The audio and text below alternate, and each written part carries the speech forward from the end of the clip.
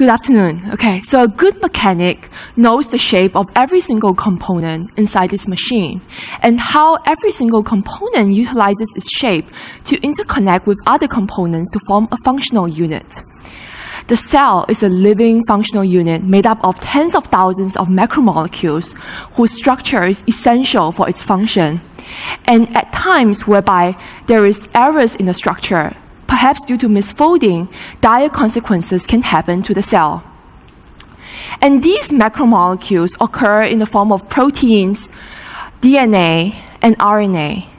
In the past decade or so, in order to understand how the cell functions, much work has been spent in understanding the structure of proteins and DNA.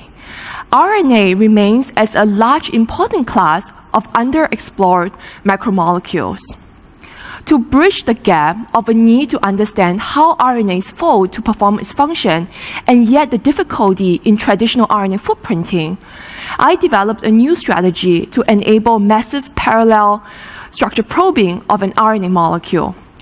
Instead of probing now a single fragment of an RNA at a time, we can now probe long RNA structures of thousands of RNAs at a time. And this massively parallel um, sequencing enables us to obtain RNA structures of thousands of RNAs under different conditions, as well as in different organisms.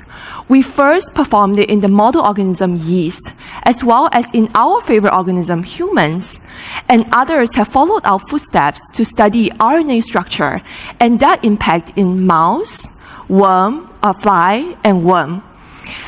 So you might ask, now that you have all these RNA structures, we have first peek into landscapes of how these RNAs fold. What's next? So RNA, understanding the structure of RNA provides us with a molecular understanding of the molecular basis of disease. So many diseases, including cancer, are associated with numerous mutations in the cell. However, how these mutations affect the cellular function is still largely unknown. In our previous study, we found that about 15% of these mutations affect RNA structure.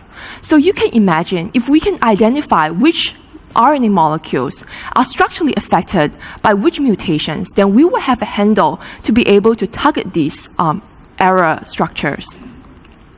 And now we can provide RNA structure probing in other pathogens such as viruses and um, bacteria and understanding the structure of these macromolecules is critical for us to rationally design drugs to target them in the new class of antiviral and microbial therapies.